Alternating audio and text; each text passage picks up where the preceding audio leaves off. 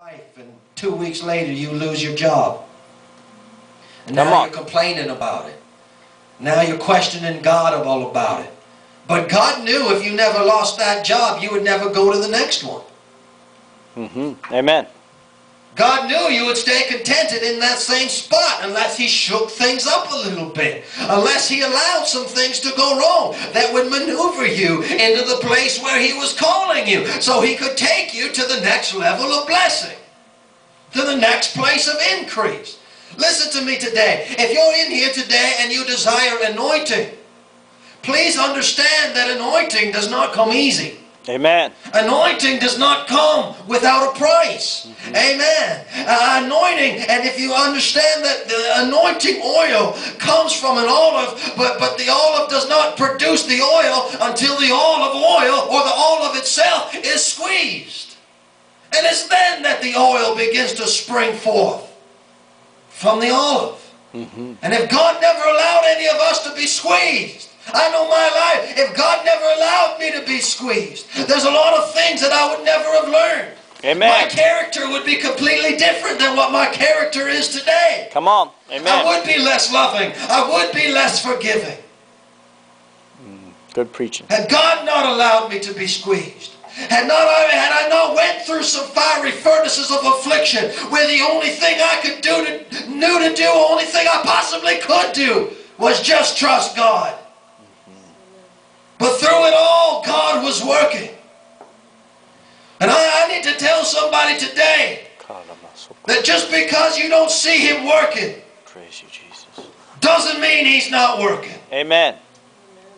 And when it seems like everything's going wrong and you think God has forsaken you, it might really be God just sending the answer to your prayer Tell it. and say, okay, let me take you there then. But in order to get there, you've got to go through this. Amen? Amen. That's good preaching tonight. I want to talk about this Amen. now just very quickly. Another way that we collect dust, another way that dust gets on us, is from facing the fierce winds and the storms that we go through. When the winds are pushing against our lives, when the winds are pushing against our vessels, blowing against us, trying to make it difficult. We're trying to move, but the wind is blowing dirt and dust all over us, and it's easy to get dirty when you're facing the storms. It's easy to get dust all over you when you're facing a test, when you're facing a trial.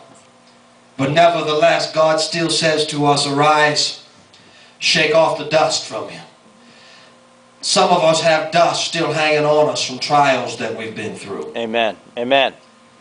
Some of us still have dust hanging on to us from the storms that we fought in another day. And the dust is still there. And the hurt is still there. And the pain is still there. And it still seems so real to us as though it just happened. Because we can still feel the dust hitting against our skin Yes, as the wind gave it so much power and it just covered us. But God says, shake off Come on. that dust. Shake it off because God has taken you to another place. Hallelujah. When the winds blow against us and the dust collects upon us, we cannot let it stop us. Isn't it funny today that as we take a look in our world, the most precious things and the most valuable things that are upon the face of the earth today come from the dust mm-hmm. and come from the dirt. Mm-hmm. Amen. Places where you got to dig down and get dirty in order to get it. You want some gold? You got to dig for it. You want some diamonds? Well, sometimes it's covered in a lot of dust, and sometimes it's covered in a lot of dirt. And it's not until the dust is removed off of it and the mud is all cleaned off of it that you see something that is there of great value.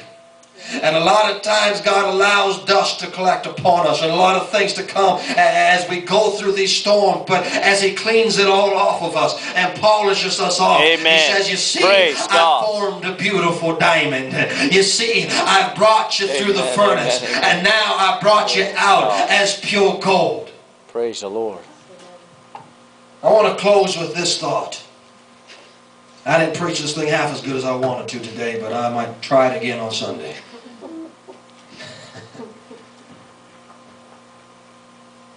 You've heard me talk recently, and I'm sure you've heard it in church over the years, that God is a God of principle, and the, one of the principles of the kingdom of God is to sow and to reap. How many know that that's the Amen. truth? It's the truth.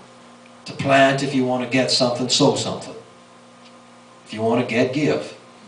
Give and it shall be given unto you. Pressed down, shaken together, Running. and running over. Praise God. The Bible said men would pour into your bosom, but it started off with giving. The laws of sowing and reaping. Well, you know, in my life I've considered a lot of things as seed, and I believe pretty much everything is a type of seed. hmm Amen. I considered money as a seed, and indeed money is a type of seed. Yes. Amen. Ultimately, the Word of God is the seed. Money is a type of seed, and uh, you know, thoughts are seeds, and uh, words are seeds, and. All, all kinds of things are seeds in our life. But I don't know how much time I, I really consider it myself as a seed. Come on now. Myself as a seed. That as I pray to God to take me to a greater depth, as I pray for God to bring increase in my life, there's times when God says, if you really want me to do this for you, I'm going to have to plant you. Mm-hmm. And if you know anything about planting, and I know very little, but I do know this, that in order to get anything, you got to put the seed into the soil. Amen. You got to cover it with some earth. You got to cover it with some dirt. You got to cover it with some dust. You take that little seed or whatever it is you want, you put it down there deep, and you cover it up again. And I just want to read this to you now out of Mark chapter number 4. Go with me in your Bibles to Mark chapter 4.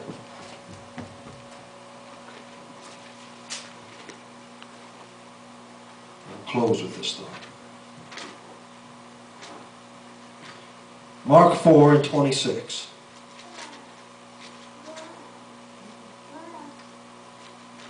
Four and twenty-six.